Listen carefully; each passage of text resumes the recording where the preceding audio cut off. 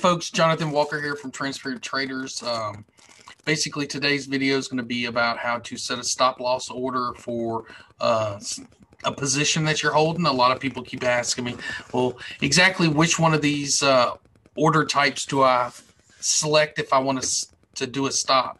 So basically, a stop loss is say you bought a a, a particular ticker at twelve dollars a share and you want to protect your capital and your investment.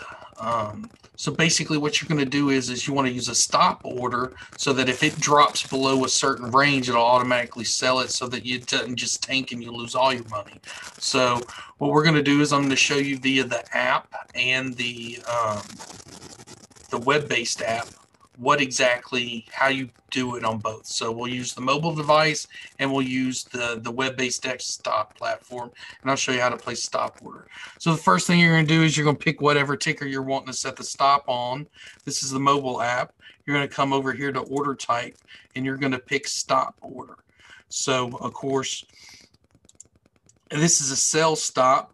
So currently, um, what you would want to do is you would want to set this. You know, you got a position at 1308, so we're going to set this for $12.50. Um, once stop price is reached, your order will automatically be converted into a market order. So basically, what's that telling you is is once that price drops to 12.50, it's automatically going to sell it. And then you'll just click OK. Uh, you're going to do one share okay again, and then you just hit sell. It'll ask you if you want to confirm, and you say confirm. So now your stop order has been there, and it, it's good to go. If that price drops to 1250, um, it will automatically sell your share.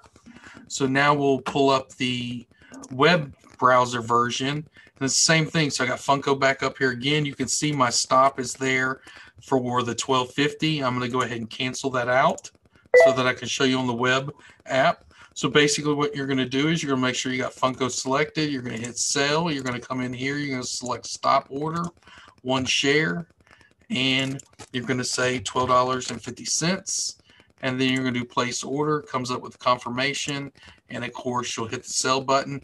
You can see it over here on your chart that once again it's letting you know that you have a stop price set for $12.50 so that's how you do it folks that's on the webull mobile web app and the um, desktop version so once again, that's a stop loss. A stop loss is used to protect your capital capital that you have invested, um, and you can move this up as the price goes up. You can just you can just adjust it. You can even do it if you're using the web browser app. You can just move it on the mobile device. I believe you'll have to go in there and actually physically modify the order and move it up. So as the price goes up, you move your stop loss up, up to protect it.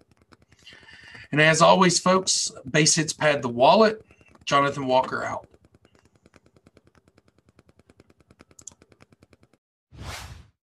Amazingly simple.